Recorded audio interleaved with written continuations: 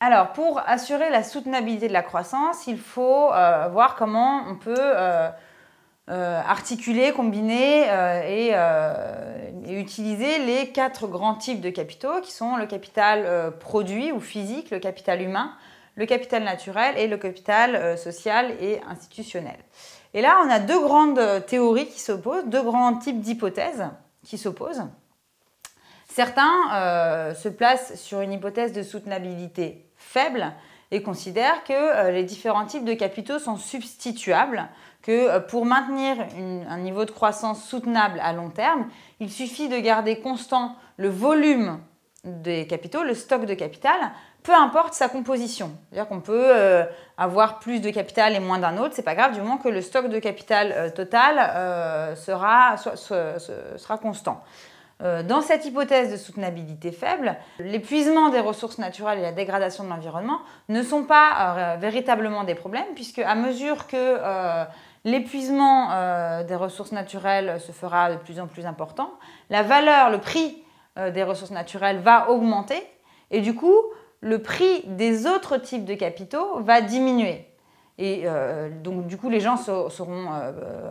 poussés à se tourner vers l'utilisation des autres types de capitaux. Et euh, par ailleurs, euh, les gains euh, faits en raison de, l'importance du coût du, capital naturel, donc si, le capital naturel, l'utilisation du capital naturel coûte plus cher,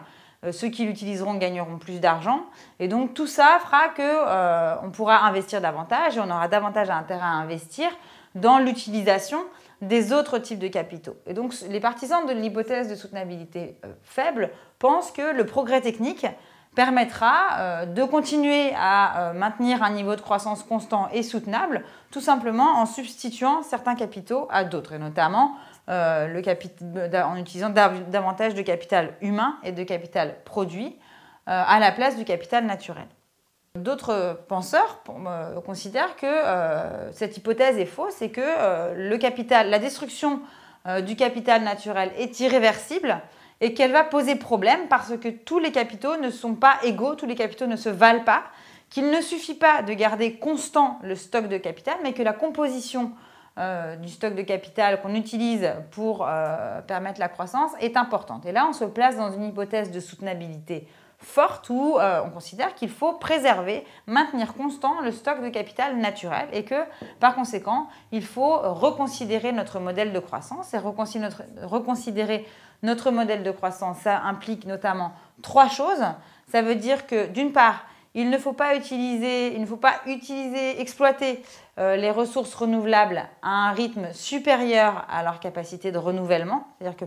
pour prendre l'exemple des poissons, on peut pêcher des poissons, mais il ne faut pas euh, euh, pratiquer la surpêche, puisque la surpêche, c'est une pêche qui se fait à un rythme supérieur aux capacités de renouvellement des bancs de poissons, et donc qui à terme va arriver à leur épuisement. Deuxième chose, euh, il ne faut pas émettre davantage de déchets ni de polluants que la Terre ne peut en absorber. Donc il faut respecter les capacités d'absorption de l'environnement de nos déchets. Et troisième chose, euh, il faut, euh, à mesure qu'on utilise des ressources non renouvelables, euh, imaginer et substituer des ressources qui seront renouvelables. Ça, ce sont les trois éléments qui, pour les, les, défenseurs de l'hypothèse de la soutenabilité forte, ces trois éléments seront les seuls garants de la soutenabilité de notre croissance, c'est-à-dire qu'il faut préserver le capital naturel car il n'est pas substituable et car sa destruction est irréversible.